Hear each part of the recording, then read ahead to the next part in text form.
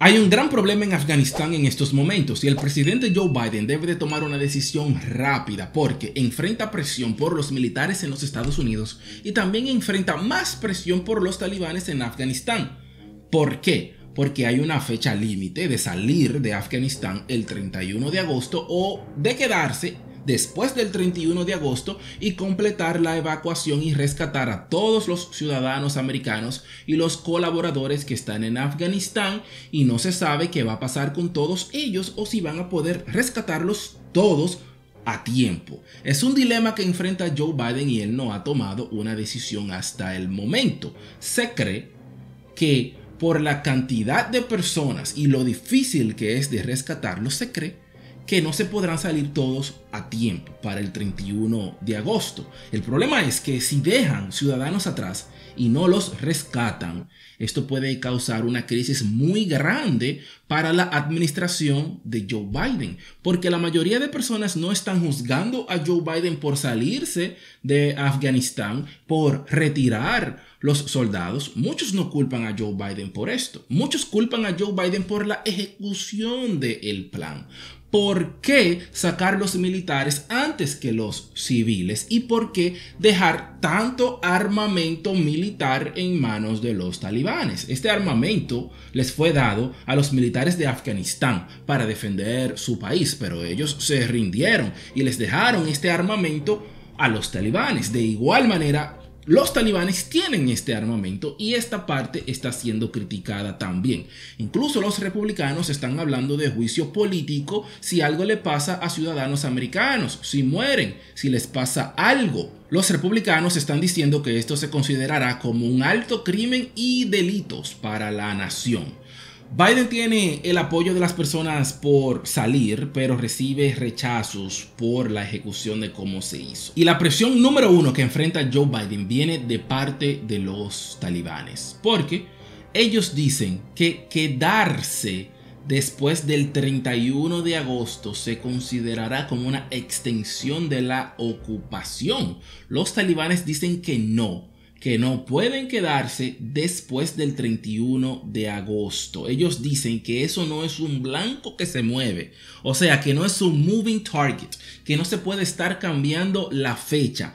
Ellos dicen que extender la fecha límite de salir representa una línea roja, que habrá problemas si se extiende la fecha límite de salir. El vocero de los talibanes dijo, si los Estados Unidos o el Reino Unido buscan tiempo adicional para continuar con la evacuación, la respuesta es no o habrá consecuencias. Extender la fecha significa extender la ocupación. Y ahora los talibanes están hablando duro, están incluso amenazando que esto tendrá consecuencias. Pero si no se termina la evacuación y dejan personas, ¿qué puede hacer los Estados Unidos? Deben de rescatarlos porque de no hacerlo esto traería otras consecuencias peores. ¿Cómo cuáles? Imagínense videos de americanos siendo golpeados, ya que hay reportes de que hay americanos tratando de entrar al aeropuerto en Kabul para ser evacuados y que están siendo golpeados y acosados por talibanes. Estos reportes son un poco incómodos de escuchar. Mientras más pasan los días, los talibanes toman más fuerza y se ponen más rebeldes. Y ok, Joe Biden quiere paz, Joe Biden no quiere guerra. Pero si matan a un ciudadano americano, si pasa algo, si salen algunos videos extraños que puede ocurrir, como ha ocurrido anteriormente, esto se puede salir de control, incluso se puede salir de las manos de Joe Biden, que nadie quiere, que él no quiere. Pero los talibanes están diciendo que hay una línea roja, que los Estados Unidos no pueden evacuar a todo el mundo si pasa de la fecha límite del 31 de agosto. Esto trae muchos problemas y es una de las presiones que enfrenta Joe Biden de los talibanes. La otra presión que enfrenta Joe Biden es de Estados Unidos y de los militares del Pentágono y del Servicio de Inteligencia. Ellos dicen que Joe Biden debe de tomar una decisión lo más pronto posible este martes, que tome una decisión si salen o si se quedan después del 31 de agosto. Y Joe Biden no ha tomado esta decisión. Pero ¿por qué la inteligencia de los Estados Unidos dicen que se debe de tomar una decisión tan rápido? Porque ellos dicen, son 5.800 soldados que tenemos en Afganistán. Ellos no saldrán en un día. Ellos tienen equipos, ellos tienen armamentos, armas todo ese equipo militar no se mueve en un día. Si se va a salir, se debe de hacer con tiempo y no a lo loco. Por eso Biden enfrenta presión de Estados Unidos también, porque es cierto, sacar todas esas armas, sacar militares, eso toma días también en hacerlo y no se ha terminado la evacuación. Ese es uno de los problemas y conflictos y presión de estos momentos y que Joe Biden debe de tomar una decisión. Otros de los reportes extraños es que los Estados Unidos les están pagando dinero a los talibanes para poder moverse alrededor del aeropuerto. ¿Cómo?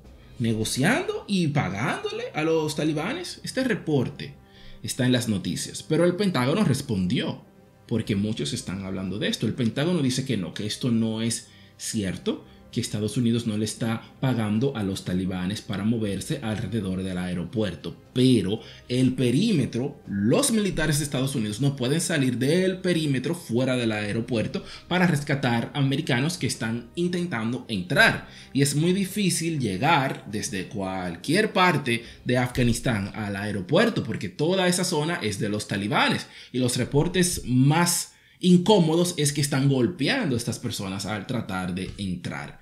Esto se puede salir mucho de control. Y Biden el domingo dijo que las personas no están teniendo problemas para llegar al aeropuerto, que todos pueden llegar al aeropuerto. Y hay una contradicción con esto, porque el Pentágono, el secretario de Defensa y americanos que han salido están dando testimonios que sí están teniendo muchos problemas para poder llegar al aeropuerto y ser evacuados, y que muchos se sienten abandonados. Entonces, sobre abandonados, hoy hubo una pequeña controversia en la Casa Blanca en la rueda de prensa. James Psaki se molestó porque le hicieron preguntas sobre americanos abandonados. Miren el video. Does the president have a sense that most of the criticism is not of leaving Afghanistan, it's the way that he has ordered it to happen by pulling the troops before getting these Americans who are now stranded? Does he have a sense of that? First of all, I think it's irresponsible to say Americans are stranded. They are not. We are committed to bringing Americans who want to come home home. We are in touch with them via phone, via text, via email, via any way that we can possibly reach Americans to get them home if they want to return home. There are no Americans stranded is the White House's official position on what's happening in Afghanistan right I'm just calling you out for saying that we are stranding Americans in Afghanistan. Le preguntaron a James Saki El presidente sabe que la crítica no es sobre irse de Afganistán, sino sobre la forma que ordenó que se hiciera, sacando las tropas antes de sacar a estos americanos abandonados.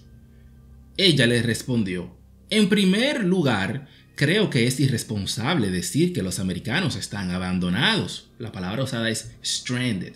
Stranded es sin esperanzas, abandonados, dejados, solos. Y no lo están, dice James Saki. Estamos comprometidos a atraer a los estadounidenses que quieren volver a casa. Estamos en contacto con ellos por teléfono, por mensajes de texto, por correos electrónicos, de cualquier manera que podamos llegar a los estadounidenses para que los lleven a casa si quieren regresar. Claro que ellos sí quieren regresar. El problema es llegar para que los traigan. Y el reportero entonces pregunta aquí, ¿No hay estadounidenses abandonados? ¿Esa es la posición oficial de la Casa Blanca sobre lo que está sucediendo en Afganistán en este momento? Él le preguntó y ella dice, solo te estoy llamando la atención por decir que estamos dejando a estadounidenses abandonados en Afganistán cuando hemos dejado muy claro que no vamos a dejar a los estadounidenses que quieran regresar a casa. Todos quieren regresar a casa los vamos a traer a casa y creo que eso es importante para los estadounidenses. Así que hubo una controversia aquí sobre la pregunta si están abandonados o no están abandonados. El problema es que el que está allá y tiene problemas para llegar al aeropuerto y que les hagan una evacuación, los reportes es que ellos se sienten abandonados. Vamos a esperar más testimonios. Y por otro lado, ¿qué se está diciendo aquí en los Estados Unidos? ¿Qué dicen los senadores? Pues el senador Lindsey Graham dijo, es obligatorio que extendamos la fecha límite del 31 de agosto. El presidente Biden no puede ceder al ultimátum de los talibanes. Daría como resultado que decenas de miles se quedaran atrás. Claramente, los talibanes están caminando lentamente para crear una situación de rehenes. Ese es uno de los problemas. Si toman rehenes Estados Unidos, si salen videos, si se sale de control, si matan a alguien, señores, esto se sale de las manos de Joe Biden y esto crea una crisis muy grande. Por eso es la crítica de ¿por qué no sacar a los civiles primeros y el personal y de último a los militares. Sacaron los militares, todos, no todos, pero muchos les aplaudieron esto a Joe Biden porque muchos quieren fin de la guerra. La mayoría de personas no quiere militares en Afganistán.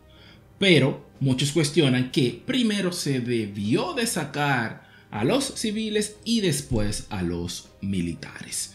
Déjame saber tus pensamientos sobre qué tú opinas sobre esta situación y qué puede pasar de aquí en adelante. Es un dilema que enfrenta Joe Biden. Joe Biden debe de tomar una decisión. Estaremos monitoreando si Joe Biden dice, nos vamos el 31 de agosto. Ok. O si dice, nos quedamos hasta después. Si se queda hasta después, crea conflicto con los talibanes. Pero si se van antes y dejan americanos atrás, crea conflicto porque muchos van a criticar que se dejaron americanos atrás, al olvido. Y esto es otro problema serio. Déjame saber tus pensamientos en los comentarios, qué tú opinas sobre todo esto. Este es el Ray Studios.